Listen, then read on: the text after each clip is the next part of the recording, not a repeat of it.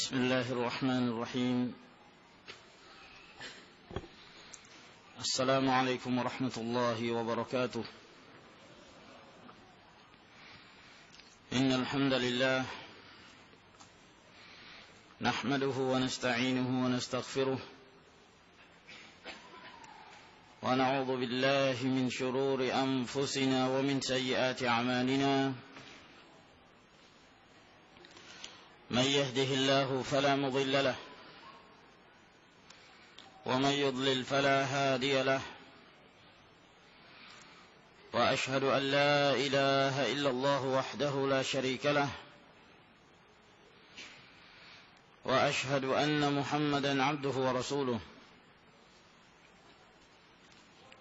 يا أيها الذين آمنوا اتقوا الله حق تقاته. ولا تموتن إلا وأنتم مسلمون. يا أيها الناس اتقوا ربكم الذي خلقكم من نفس واحدة وخلق منها زوجها وبث منهما رجالا كثيرا ونساء. واتقوا الله الذي تساءلون به والأرحام. إن الله كان عليكم رقيبا. يا أيها الذين آمنوا اتقوا الله وقولوا قولا سديدا. يصلح لكم أعمالكم ويغفر لكم ذنوبكم. ومن يطع الله ورسوله فقد فاز فوزا عظيما. أما بعد فإن أصدق الحديث كلام الله تعالى. وخير الهدي هدي محمد صلى الله عليه وعلى آله وسلم. وشر الأمور محدثاتها فإن كل محدثة بدعة وكل بدعة ضلالة وكل ضلالة في النار. معاشر المسلمين والمسلمات رحمكم الله. والحمد لله Kembali kita berkumpul pada malam hari ini dalam majlis al-ilmu melanjutkan pengajian kita dari pembahasan kitab Sahihul Imam Al-Bukhari rahimahullahu taala. Dan kita masih dalam kitabul ilm. Kitab yang menjelaskan tentang adab-adab menuntut ilmu. Dan keutamaan-keutamaan ilmu. Yang disebutkan oleh Nabi sallallahu alaihi wa alihi wasallam. Dan pada malam hari ini insyaallah taala kita masuki bab yang berikutnya. Berkata Al-Imam Abu Abdullah محمد بن إسماعيل بن إبراهيم بن المغيرة ابن بردزبة الجعفي مولاهم البخاري رحمه الله تعالى باب ما جاء في العلم باب penjelasan tentang ilmu apa-apa yang datang di dalam nas yang menjelaskan tentang ilmu dan keutamaan ilmu. Wa qawlihi ta'ala dan firman Allah subhanahu wa ta'ala. Wa qur rabbi zidni ilman. Dan katakanlah. Wahai Rabbku. Tambahkanlah kepadaku ilmu. Apa yang disebutkan oleh Imam Al-Bukhari rahimahullah taala dari judul bab ini di mana beliau hendak menjelaskan bagaimana cara seorang mendapatkan ilmu. Bahwa mendapatkan ilmu tidaklah dengan satu cara. Namun beraneka ragam dan berbagai keadaan yang diperbolehkan dalam rangka tahsil al-ilmu nafi' mendapatkan ilmu yang bermanfaat. Boleh dengan cara mendengarkan langsung dari gurunya. Guru yang menyampaikan hadis misalnya.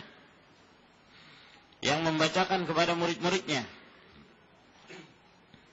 Atau sebaliknya dengan cara al-arab yaitu salah seorang dari murid yang membacakan hadis-hadis gurunya kepada gurunya. Lalu kemudian guru tersebut membenarkan. Maka dia mengatakan naam ya hadisnya betul. Maka mereka pun membenarkan. Di dalam buku-buku mereka yang telah mereka dapatkan dari hadis-hadis gurunya diberi tanda bahwa gurunya telah membenarkan hadis yang dibacakan itu. Yang disebut dengan as-sakku. As-sakku adalah bahasa ajami bahasa Persi yang kemudian diarabkan atau dengan cara yang lain? Al-ijazah.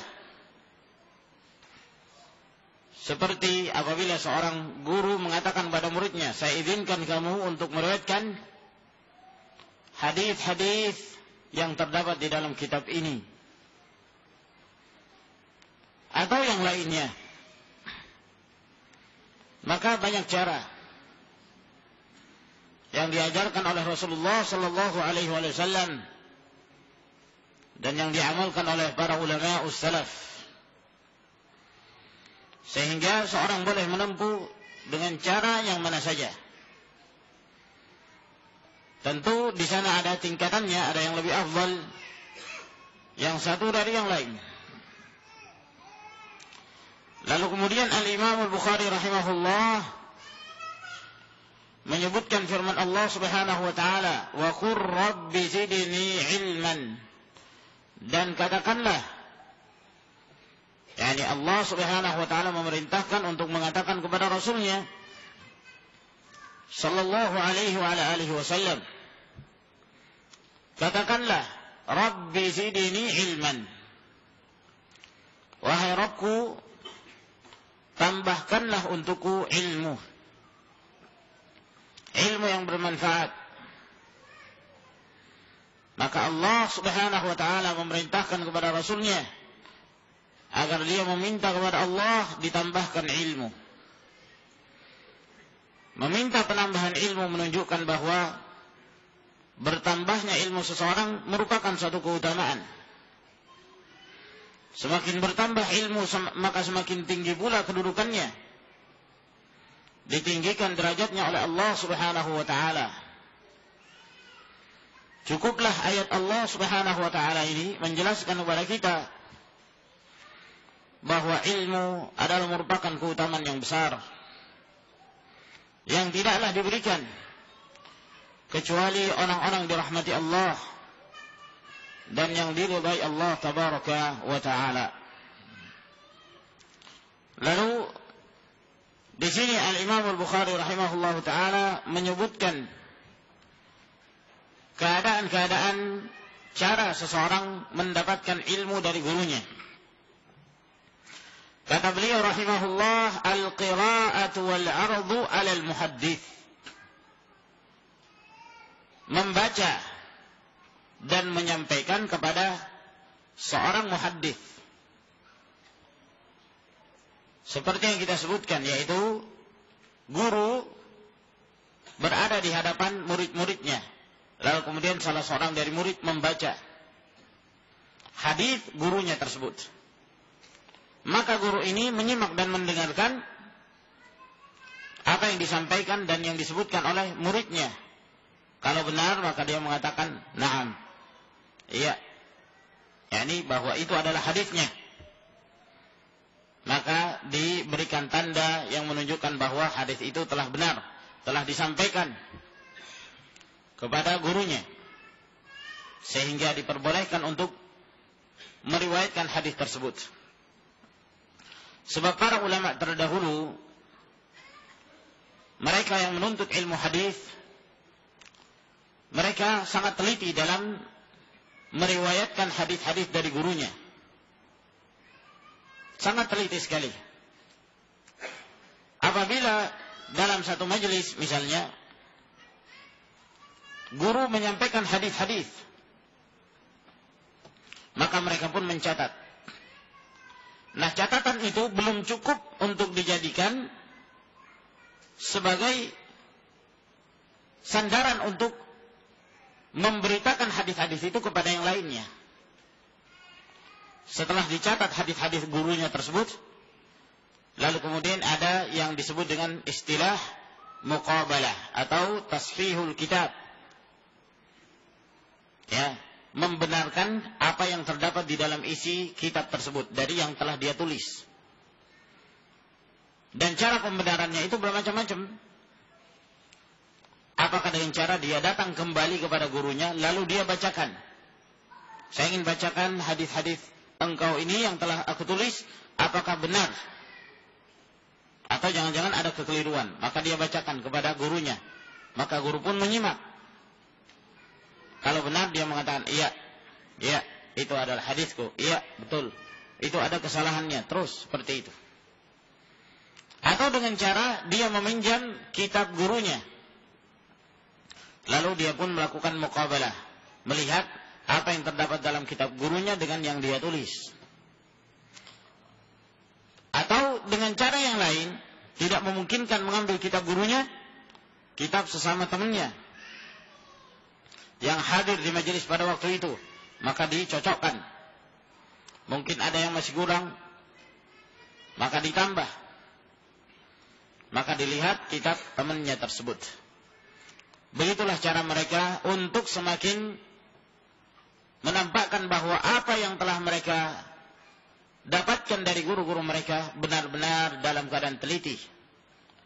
Terjamin kesahihannya. Terjamin keabsahannya.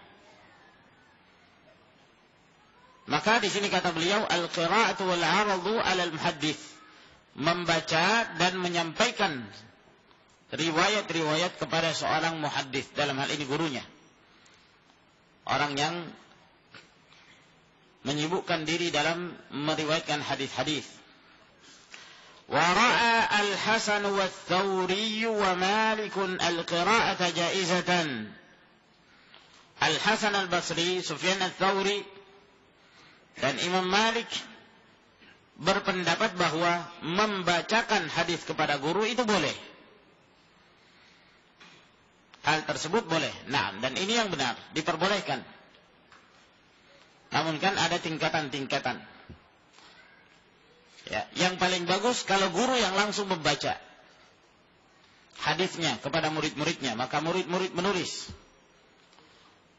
Di bawahnya yaitu apabila murid yang membacakan hadis kepada guru. Itu juga diperbolehkan.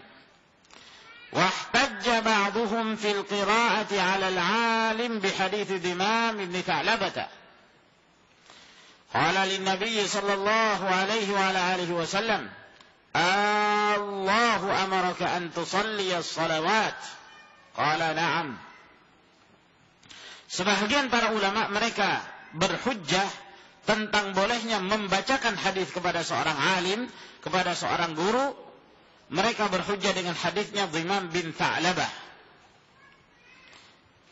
Jadi hadis Dhimam bin Tha'labah ini akan disebutkan nanti oleh Imam Al-Bukhari rahimahullah secara lengkap. Di mana Dhimam bin Tha'labah datang dalam keadaan pada waktu itu Rasulullah sallallahu alaihi wasallam sedang duduk-duduk bermajelis bersama dengan para sahabat. Datanglah Dhimam bin Tha'labah dengan mengendarai unta. Lalu kemudian dia meminta izin, siapakah di antara kalian yang bernama Muhammad? Lalu kemudian diisyaratkan kepada Rasulullah sallallahu alaihi wasallam. Nah, nah pada saat itulah terjadi dialog antara Dhimam dengan Rasulullah sallallahu alaihi wasallam. Di antara yang dikatakan oleh Dhimam kepada Rasulullah alaihi salatu wasallam pada saat itu Beliau mengatakan kepada Rasulullah, Allahu amaraka an salawat. Apakah benar Allah memerintahkan engkau untuk mengerjakan salat-salat? Maka Nabi Shallallahu Alaihi Wasallam menjawab, Naam. Iya. Jadi nampak di sini bahwa yang bertanya adalah Bimam bin Fa'alabah. Sementara Rasulullah mendengarkan pertanyaan itu. Kalau benar, maka beliau iakan. Maka ini sama kedudukannya dengan seorang murid yang membacakan hadis kepada gurunya. Dia mengatakan, apakah benar ini hadismu? Demikian, demikian, demikian. Dia membaca hadis tersebut. Kalau benar, maka gurunya mengatakan, naam, iya. Sama. Maka ini menunjukkan bolehnya. Murid membacakan hadis, membacakan ilmu kepada guru, lalu kemudian guru tersebut membenarkan. Ini salah satu metode dalam menuntut ilmu. Qala fahadihi qira'atun ala Nabi sallallahu alaihi wasallam. Maka hadis Imam bin Tha'labah ini merupakan bentuk bacaan yang disampaikan kepada Nabi sallallahu alaihi wasallam. Akhbar Imam qaumahu bidzalika fa'ajazu. Lalu kemudian Imam setelah mendengarkan dari Nabi alaihi wasallam beliau pulang dan menyampaikan kepada kaumnya tentang apa yang dia dengarkan dari Rasulullah Sallallahu Alaihi Wasallam lalu kemudian mereka pun membolehkannya. Ya, ini mereka menerima apa yang dikabarkan oleh Imam bin Tha'labah. Padahal dia seorang diri. Dari sini juga para ulama menjadikan hadis Imam bin Tha'labah sebagai dalil bahwa khabar wahid itu diterima. Khabarul ahad baik dalam permasalahan akidah maupun dalam perkara-perkara hukum. Tidak ada yang menolak tentang khabarul ahad kecuali dari kalangan Mu'tazilah. Dari kalangan Al-Mu'tazilah yang menolak hadis-hadis Rasulullah sallallahu alaihi wa ala alihi wasallam. Lalu kemudian beliau berkata, "Wahtajja Malikun bis-saqqi yuqra'u 'ala al-qaum fayaquluna ashhadana fulan." Al-Imam Malik berhujjah dengan as-saq. As-saq seperti yang kita sebutkan tadi. Yaitu kitab yang di dalamnya sudah ada tanda yang menunjukkan kitab ini sudah dibenarkan oleh gurunya. Maka dinamakan itu as-sakku. As-sakku yakni kitab yang sudah dibenarkan hadis-hadisnya yang terdapat di dalam kitab tersebut dari gurunya. Sudah ada tandanya. Nah, sebagaimana kita sebutkan bahwa as-sakku bukanlah dari bahasa Arab, asalnya dari bahasa Persia. Lalu kemudian diarabkan. Nah, ketika dibacakan kepada kaum as-sakku tersebut, ya karena itu sudah benar, kitab itu sudah di benarkan oleh guru, maka boleh dibacakan kepada kaum, boleh dibacakan kepada yang lain.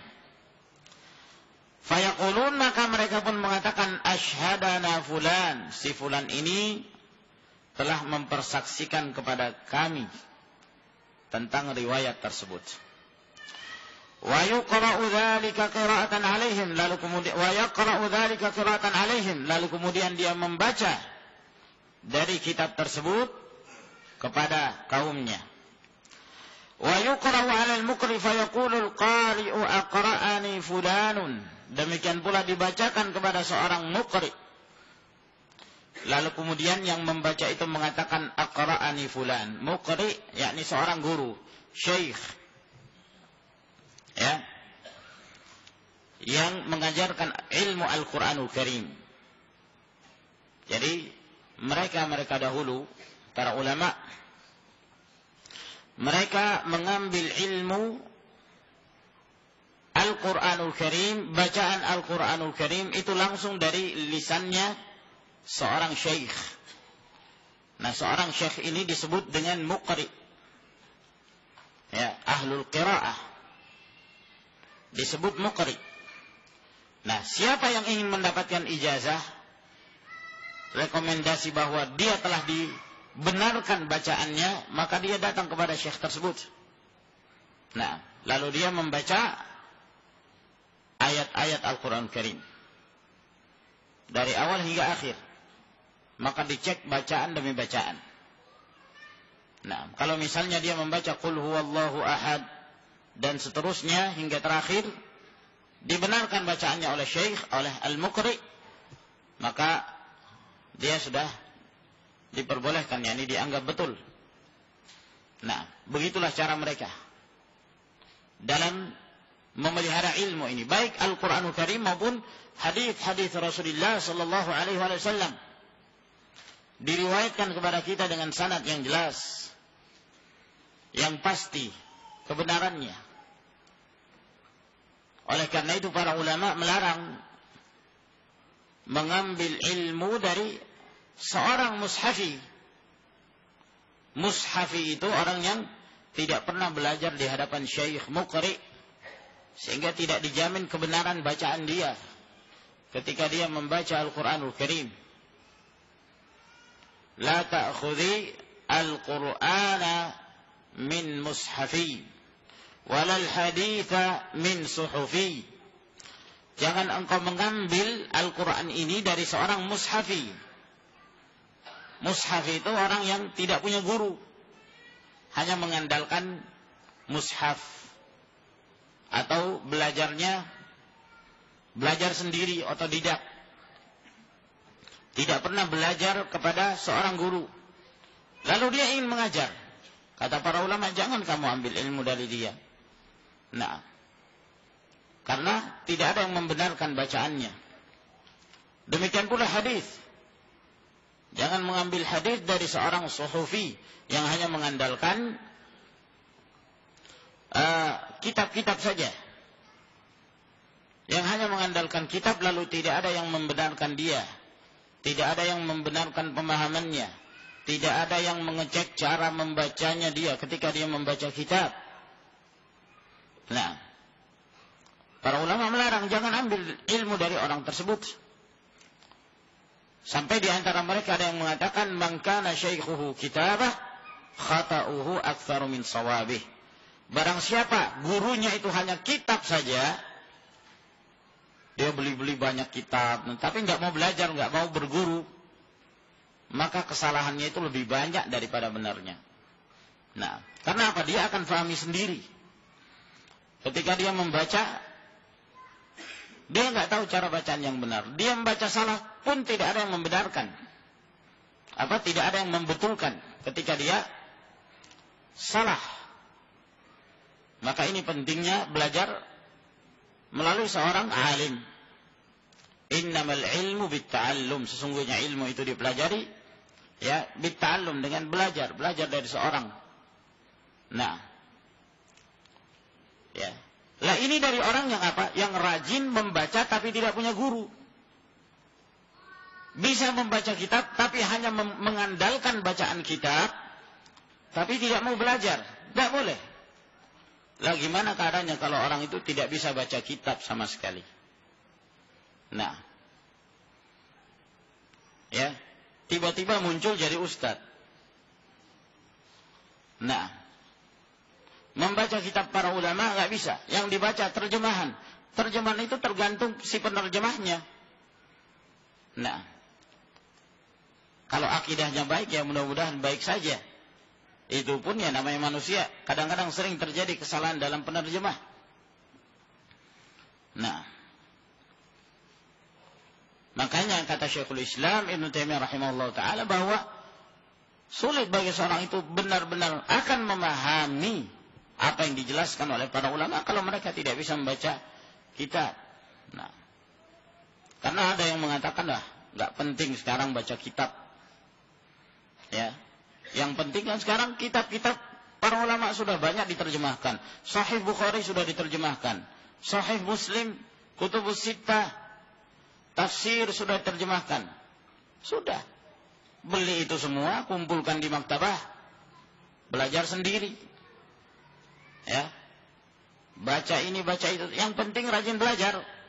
Setahun dua tahun jadi ustad. Ya. Nah. Lalu menafsirkan hadis ini, menafsirkan ayat ini, ayat itu. Nah, ini seorang yang bisa baca kitab saja belum tentu.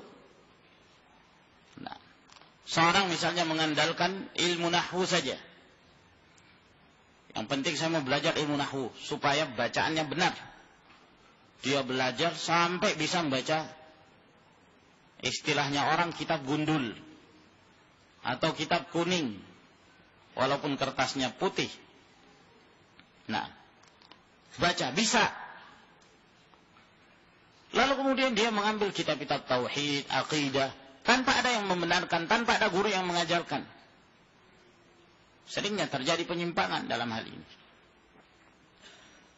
Nah, oleh karena itu masyarakat muslimin rahimakumullah, penting bagi kaum muslimin menghidupkan turatul ulama, warisan para ulama. Dengan apa? Membina anak-anak kaum muslimin, belajar membaca kitab, ya membiasakan mereka membaca kitab-kitab tersebut dengan benar. Nah, agar kemudian pemahaman mereka benar dan membenarkan pemahaman kaum muslimin. Bagaimana kalau masukkan anak pondok pesantren nggak ada ijazahnya? Lah biar orang belajar agama itu kan untuk mendapatkan ilmu, Orang mempelajari agama Allah Subhanahu wa taala membab tafaqquh fid din, bukan karena mengharapkan dunia. Bahkan Rasulullah sallallahu alaihi wasallam memberikan peringatan bahwa amalan-amalan yang dituntut untuk akhirat jangan dijadikan sebagai wasilah untuk mendapatkan dunia. Dalam hadis yang diriwayatkan oleh Imam Ahmad dari hadis Ubay bin Ka'ab. Kata Nabi alaihi salatu wassalam, "Man 'amila 'amalan min a'malil akhirati lidunya, lam yakun lahu fil akhirati min nasibin." Barang siapa yang mengamalkan satu amalan di antara amalan-amalan yang dituntut untuk akhirat, tapi dia mengamalkannya untuk dunianya, maka dia tidak akan mendapatkan bahagiannya nanti di akhirat tidak akan mendapatkan pahala di akhirah karena dia telah mengambil di dunia. Maka dibutuhkan keikhlasan seorang mempelajari agama Allah Subhanahu wa taala ini. Bukan untuk kepentingan dunia, bukan untuk mengumpulkan harta. Semata-mata karena Allah Subhanahu wa taala. Ya, Mempelajari agama ini bukanlah wasilah untuk memperkaya diri, ma'asyiral ikhwah. Bukan untuk memperkaya. Dan bukan untuk mencari jabatan. Semata-mata karena Allah Subhanahu wa taala. Beda halnya kalau kemudian seorang menuntut ilmu dengan ikhlas, lalu kemudian di kemudian hari diberikan kemampuan untuk bisa mengajar, Walhamdulillah itu adalah busyra. Kabar gembira yang Allah Subhanahu wa taala beritakan kepada seorang mukmin yang Allah berikan kepada mereka. Semoga itu menjadi simpanan pahala yang besar di sisi Allah Subhanahu wa taala. Sekarang ini kita melihat banyak sekali yang tidak mengerti mempelajari kitab para ulama. Jangankan itu, baca Al-Qur'anul Karim kesulitan membaca dengan tajwid yang benar, membaca dengan bacaan yang benar, mentartil Al-Quran Karim, banyak yang nggak bisa dari kalangan kaum muslimin. Nah, lalu mereka lebih mementingkan dunia. Tidak mengajarkan anak mereka cara membaca Al-Quran yang benar. Tidak membimbing keluarga mereka untuk mempelajari agama Allah Subhanahu wa taala. Terus usahakan menuntut ilmu, biasakan semangat. Belajar bahasa Arab sedikit-sedikit. Ya. Mungkin ada yang mengatakan, ya tapi umur anak sudah 50 tahun. Walaupun 70 tahun. Ya. Tidak ada batas dalam menuntut ilmu. Belajar dari pertama. Nah, belum bisa baca Quran. Baca Iqra. Abatasa. Ya Perlahan-lahan, pelan-pelan terus. Nah, setelah itu mulai lancar, ah, mulai masuk baca Al-Quran Karim. Sudah lancar, ya mulai pelajari bahasa Arab. Sedikit demi sedikit. Sesuai dengan waktu yang diberikan kepada kita. Waktu yang luang yang kita miliki. Ada yang sibuk, yang bisanya sekali sepekan. Usahakan, belajar. Sekali sepekan, satu jam, Masya Allah. Walaupun tahunya bisa ana, anta, antum. ya Walaupun tahunya hanya itu saja dalam waktu setahun akan terjadi perubahan. Ya. Yang dahulunya hanya bisa mengatakan ana anta beberapa bulan kemudian sudah bisa mengatakan kaifa haluka ya akhi. Ah. Kaifa haluka ya akhi. Nah, setelah itu berkembang lagi terus seperti itu. Nah, yang diinginkan adalah kesungguhan kesungguhan dalam belajar. Ya. Itu tanpa terasa subhanallah. Kalau orang bersungguh-sungguh, ada yang dua bulan dia sudah bisa melihat sedikit demi sedikit. Ya. Yang tadinya gundul mulai tumbuh rambut di kitab-kitab itu. Nah. Ya. Ada yang dua bulan bisa. Tiga bulan, empat bulan. Berbeda kemampuan seseorang. Ya, ada juga yang setahun ya belum bisa-bisa. Ada yang bertahun-tahun juga masih belum bisa. Ya tergantung kesungguhan, kemampuan ya dalam memahami uh, pelajaran. Nah, pernah ada seorang ahli bahasa. Nah, ahli bahasa. Orang Mesir. Orang ini dulunya dia malas menuntut ilmu.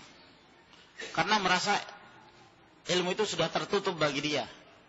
Umurnya sudah lumayan, mungkin 40 tahun lebih. Nah,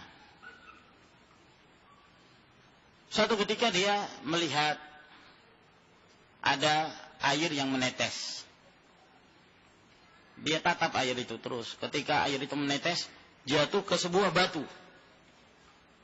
Subhanallah, mungkin karena saking lamanya batu ini itu apa? membentuk lubang. Nah, disebabkan karena tetesan air itu. Maka dia mengatakan subhanallah batu ini saja yang terkena tetesan-tetesan air itu bisa merubah dan bisa memberikan lubang padahal dia sangat keras. Maka ini menunjukkan bahwa siapa pun kalau seorang berusaha untuk mengasah ya pikirannya terus berusaha bersungguh-sungguh selangkah demi selangkah insya Allah akan bisa. Maka dia belajar. Belajar bahasa Arab. Belajar ilmu nahu sampai kemudian menjadi imam dalam ilmu nahu jadi imam padahal sudah kepala empat umurnya itu subhanallah jadi tidak ada kata terlambat bagi seorang hendak menuntut ilmu. Belajar sedikit demi sedikit. Ya. Lalu berkata, Haddathana Muhammad ibn Salam, qala haddathana Muhammad ibn al-Hasan al-Wasiti, an Auf anil Hasan qala. Berkata Imam al-Bukhari telah memberitakan pada kami Muhammad bin Salam al-Bikandi. Beliau berkata telah memberitakan pada kami Muhammad ibn al-Hasan al-Wasiti. Dari Auf dari Al-Hasan al-Basri qala Beliau berkata la ba'sa bil qira'ati 'ala al-'alim. Tidak mengapa membacakan ilmu kepada seorang alim Akhbarana Muhammad ibn Yusuf al-Firabri وحدثنا محمد بن إسماعيل البخاري قال حدثنا عبيد الله bin Musa an Sufyan dari Sufyan beliau mengatakan idza quri'a 'alal muhaddits fala ba'sa an taqul haddatsani kalau dibacakan kepada seorang ahlul hadis seorang muhaddits maka tidak mengapa engkau meriwayatkannya dengan mengatakan telah memberitakan kepadaku Dan ini tentu salah satu madhab yang masyhur bahwa para muhaddithin menggunakan kata haddathani apabila guru yang memberitakan kepada murid. Adapun kalau murid yang membacakan hadis gurunya kepada gurunya, maka biasanya mereka mengatakan akhbarani atau akhbarana. Sami'tu Aba Asim yaqulu an Malik wa Sufyan. Aku mendengarkan Abu Asim mengatakan dari Malik dan Sufyan al-qira'atu 'ala al-'alim wa qira'atuhu sawa. Membacakan kepada seorang alim ataukah bacaan alim itu secara langsung hukumnya sama. Nah, jumhur ulama mengatakan tidak sama. Lebih afdal kalau guru yang membaca secara langsung. Adapun kalau murid yang membacakan kepada guru ini di bawah tingkatan yang pertama. Nah, mereka membedakan itu sebab kalau dibacakan kepada guru, kadang-kadang guru mungkin kadang-kadang lalai, kadang-kadang teledor, kadang-kadang tidak memperhatikan, kadang-kadang mungkin pikirannya ke tempat yang lain. Ya, sehingga dengan hal ini berbeda halnya kalau dia yang memberitakan langsung hadisnya. Menunjukkan bahwa dia betul-betul intibah dalam keadaan sadar, perhatian terhadap apa yang dia bacakan kepada murid-muridnya.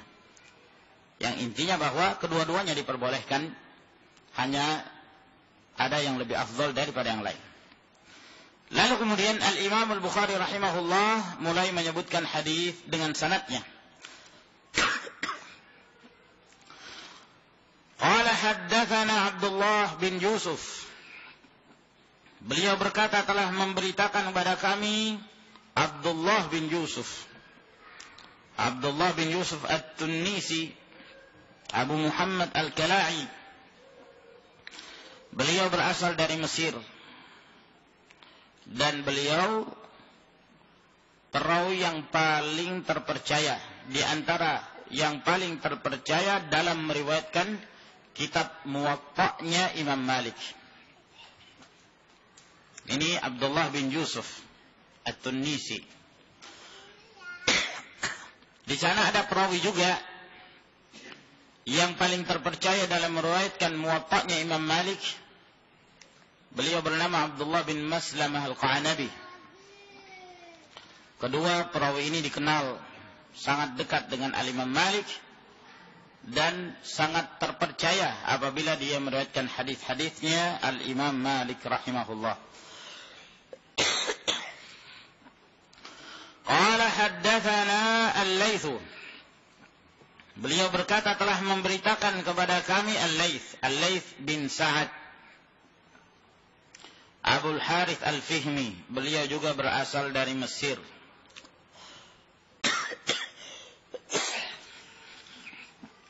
Dan Al-Laits bin Sa'ad rahimahullah taala ini satu tingkatan dengan Al-Imam Malik.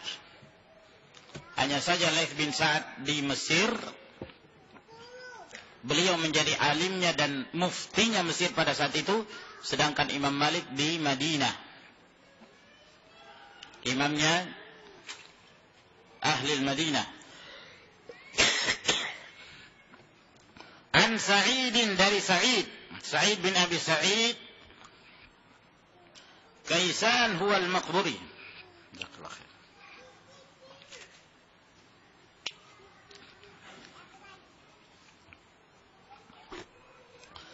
Sa'id bin Abi Sa'id Al-Maqburi beliau berasal dari Madinah dan dinisbahkan Al-Maqburi itu dari kata makbarah kuburan. Dinisbahkan pada beliau karena beliau tinggal di samping kuburan.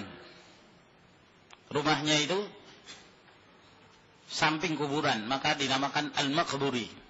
Ya dan begitulah kadang-kadang para ulama mereka itu mendapatkan gelar-gelar tertentu untuk membedakan antara satu perawi dengan perawi yang lain.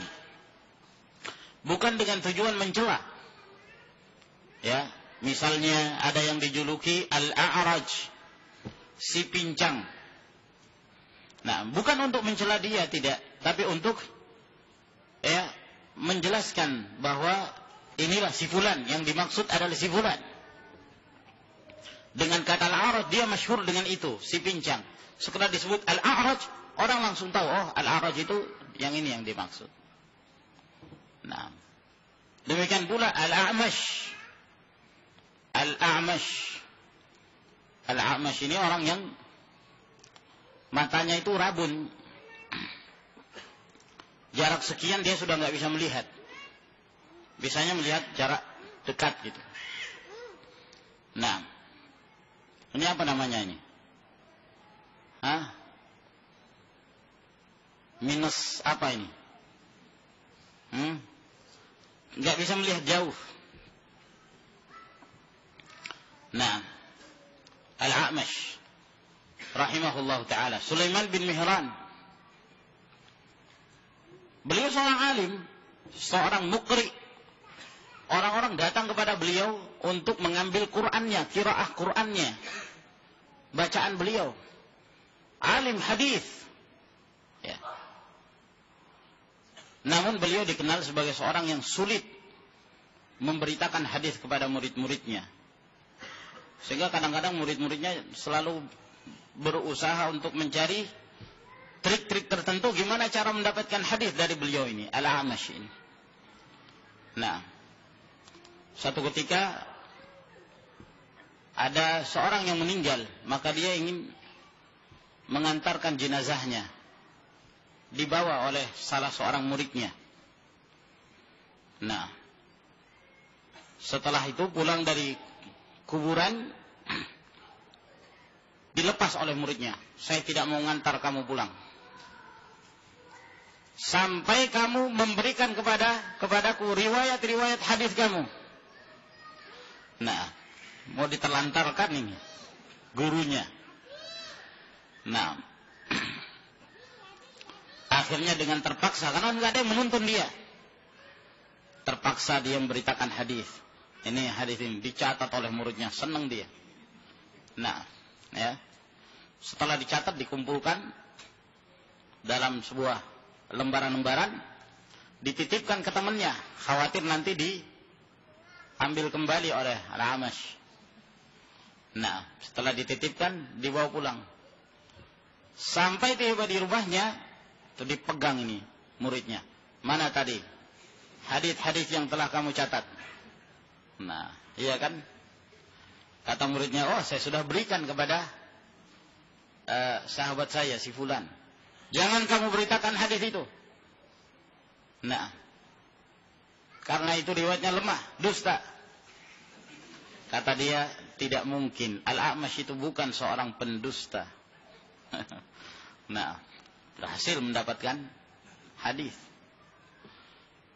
Ya. Dan banyak hal-hal yang nyeleneh dari Al-A'mash ini. Kadang-kadang dia keluar pakai baju terbalik. Yang di dalam itu ditaruh di luar. Nah, orang-orang mengingkari. Kenapa engkau melakukan ini? Iya, yang bagus itu mestinya dilekatkan ke tubuh. Yang jelek itu yang diperlihatkan keluar. Nah, rahimahullah. Pernah suatu ketika beliau rambutnya panjang. Nah, maka ada salah seorang muridnya menasihati, sebaiknya rambutmu dicukur itu. Nah, saya mau rambut saya dicukur. Tapi oleh orang yang tidak ngomong. Ini jangan orang suka ngomong, suka bicara, suka bertanya. Paling sebel dia nggak suka dengan orang seperti itu. Oh iya, sudah. Dipanggilkan. Salah seorang tukang cukur. Nah, tukang cukur ini itu periwayat hadis. Ya. Jadi kalau di zaman dahulu itu subhanallah pekerja-pekerja kecil mungkin kalau istilah kita buruh tukang becak itu periwayat hadis pada zaman dahulu. Datangin tukang cukur, cukur. Sebagian rambutnya dicukur. Setelah selesai sebagian, dia mengatakan saya tidak ingin sempurnakan sampai kamu memberitakan hadis. Ya. Nah, ya. dalam riwayat lain dia bertanya, ya Amash, hadis gini ini apa betul ini hadis kamu? Marah ala Amash. Saya bilang kamu jangan bicara. Akhirnya dia tinggalkan rambutnya dalam keadaan seperti itu sebulan namanya. Ya. Tidak ingin dilanjutkan. Nah, Allah musta'an. An Sa'id huwa al-maqburi an Syarik bin Abdullah bin Abi Namir dari Syarik bin Abdullah bin Abi Namir Al-Qurashi. Abu Abdullah beliau juga berasal dari Madinah.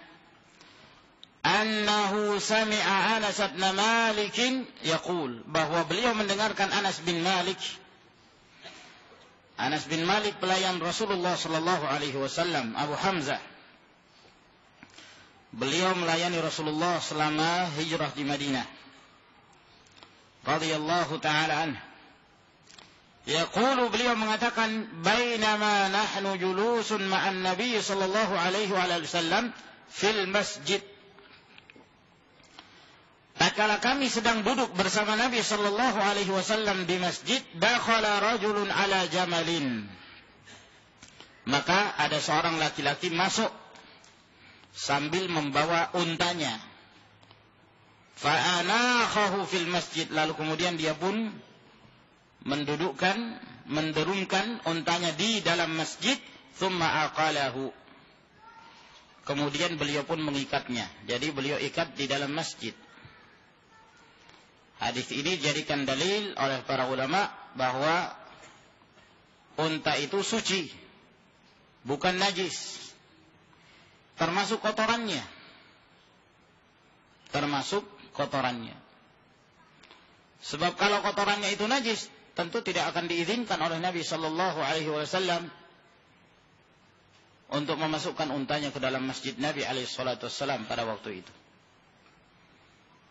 Oleh karena itu berdasarkan hadis ini dan hadis-hadis yang lain juga menguatkan hal tersebut. Kencingnya, kotorannya, bukan najis. Ya. Dan bahagian-bahagian dari tubuhnya itu.